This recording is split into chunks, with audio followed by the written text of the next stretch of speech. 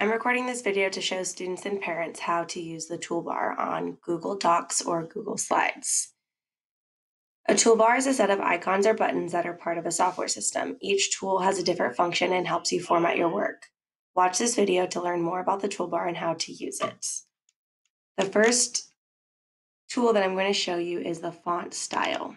In order to change the font style, you'll want to highlight all of the text and click this font button here.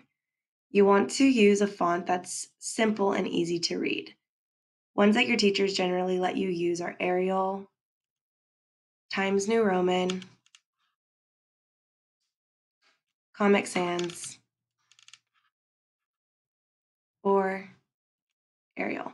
You don't want to use a font that's difficult to read. For example, this font might be difficult to read. This font might be difficult to read etc. You'll want to stick with one that's simple, such as Arial. The next tool I'm going to show you is the font size. You can change the font size by highlighting your text and changing the font size number. The bigger the number, the larger the font. The standard size is 12. Depending on what you're working on, you might want to use a larger font but generally your teachers will want you to use size 12. The next button is the bold button. You use the bold button by highlighting the words that you want in bold and then clicking the button. This makes the words stand out and a little bit darker. The next button is the italic button. The italic button makes your words slant or italicize.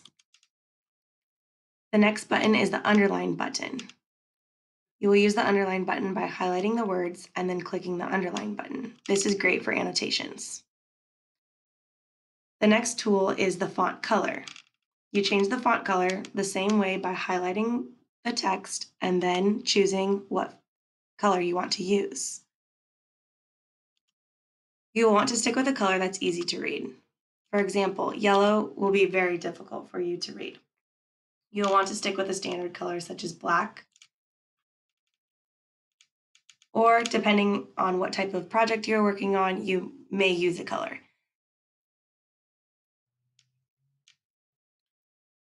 The next button I'm going to show you are the align buttons here. If you are wanting to get your title at the center of the page, you do not need to click space, space, space, space, space, space, space to get your title to the center of your page. You simply just need to highlight your title and click center align. You can use the right and left align to move your words on the left or right hand side of the page. If you click right align, it will move all of your words to the right side of the page. And if you click left align, it will align all of your words on the left side of the page. Generally, we use the left align button when we are writing paragraphs, and you'll use the tab button on your keyboard to indent your paragraph. This line spacing button puts space in between each line on your document. Double space is what many teachers ask you to use when typing a paragraph or writing an essay.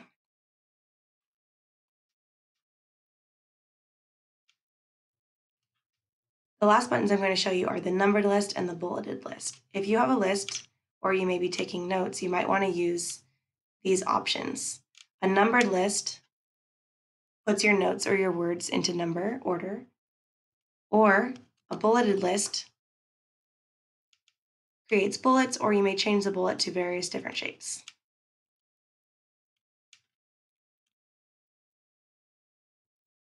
And that's how you use the toolbar.